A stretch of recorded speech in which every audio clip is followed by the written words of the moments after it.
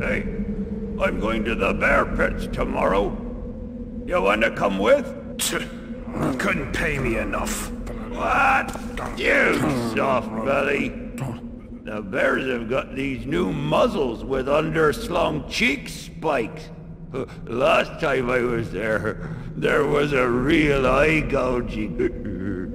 Nah, nah. It makes me sick. When I was a kid. Huh. Surprised you're even in this job. Ooh, the blood, it just turns my poor tummy. Shut up, you taffer. You want blood? You should have been there years ago.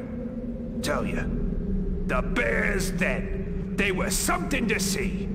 Those bears, they didn't need no cheek spikes and razor collars and paw hooks and all that knifery you straps to 'em now. No paw hooks?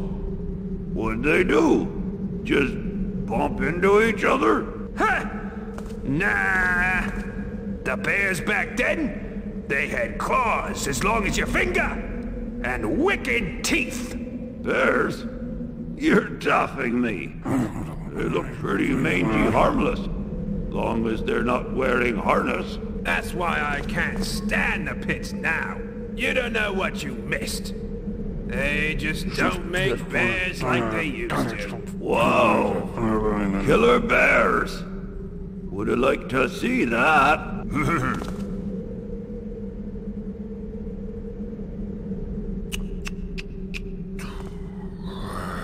Clear out of here, rogue. This is no place for you.